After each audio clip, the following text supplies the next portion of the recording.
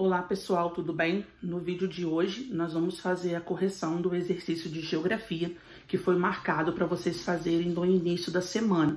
Lembrando que essa é a última semana que nós vamos estar finalizando os assuntos a respeito do primeiro bimestre. Já na próxima semana vamos ter novas videoaulas de matéria nova, é, conteúdo novo da apostila.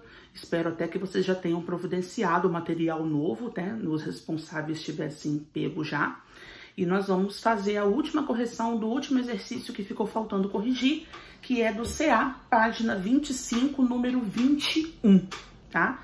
Pega aí lápis borracha, vamos fazer a correção comigo. Lembrando da dica que eu dei, se for preciso, pausem o vídeo para vocês fazerem as devidas correções.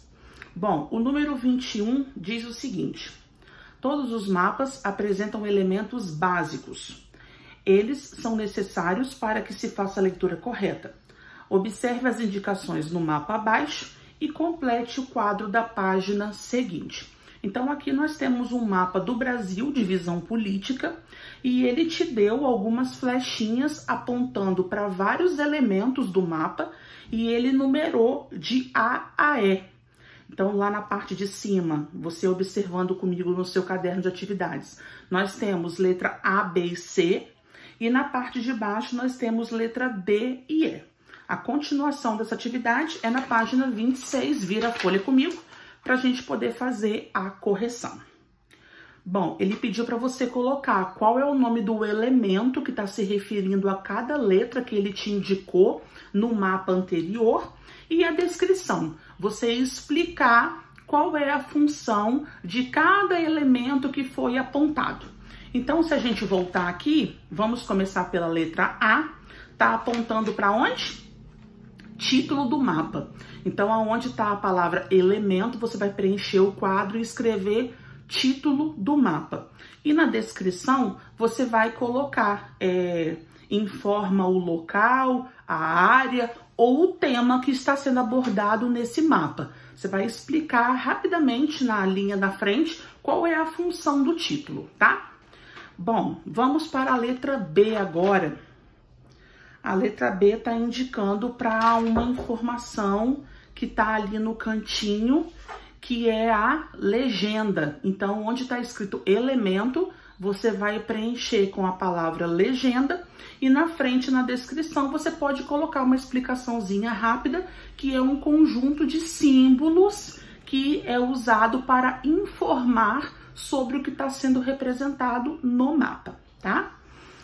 Letra C também estamos na parte de cima e está apontando para onde? Rosa dos ventos, né? Então, lá no elemento, você vai colocar orientação, porque é baseado nessa rosa dos ventos que você vai se orientar pelo mapa. E aí, na descrição, é só você colocar que ela oferece informações a respeito da orientação presente no mapa. Vamos para a parte de baixo do mapa agora. Primeiramente, ele indica a letra D e depois letra E. Na letra D, ele aponta para a fonte de qual site esse mapa foi retirado. Então, lá no elemento, você vai colocar na frente da letra D, fonte. E a descrição é a origem de onde essas informações foram retiradas, tá? E na letra E, ele está apontando para a escala.